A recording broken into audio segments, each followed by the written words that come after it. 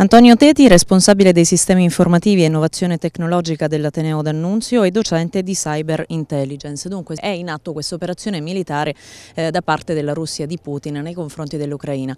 Come si sta combattendo questo nuovo conflitto?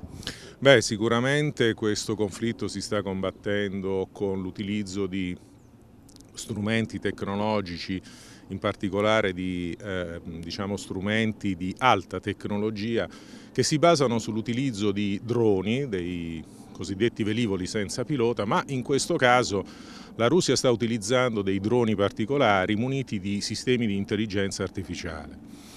Quindi si tratta di velivoli senza pilota che non hanno neanche la necessità di essere pilotati a distanza dai cosiddetti operatori eh, dei droni e gestiscono, grazie a queste, queste piattaforme di intelligenza artificiale, gestiscono automaticamente, autonomamente la missione, quindi eh, diciamo, si indirizzano verso il bersaglio, possono decidere di cambiare rotta, possono decidere di ingaggiare come si dice in gergo militare, il bersaglio in maniera diversa e una volta completata la missione possono rientrare alla base completando appunto tutto il ciclo operativo. Naturalmente questi droni possono compiere missioni di tipo diverso, quindi missioni di ricognizione, di attacco al suolo e in questo caso naturalmente le eh, operazioni che stanno conducendo sono quelle tipicamente di attacco al suolo, quindi di bombardamento.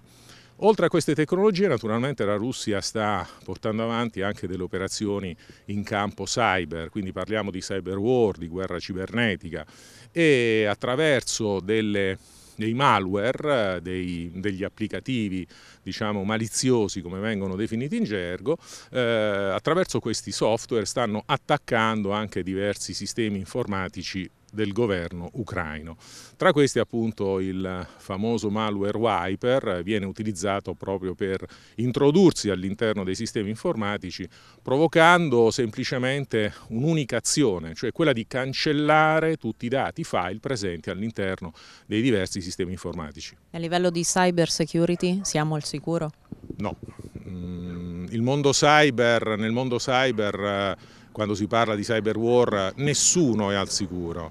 E infatti sono stati attaccati alcuni siti eh, russi da parte del noto gruppo Anonymous, quindi questa è una guerra invece che si combatte quotidianamente e che magari non produce ecco, quel clamore, quella eh, risonanza che può avere naturalmente un conflitto bellico che produce purtroppo vittime, eh, vittime umane, di esseri umani, però è allo stesso tempo un sistema di guerra che può eh, annientare anche le stesse difese di un paese, fino anche quelle delle infrastrutture critiche.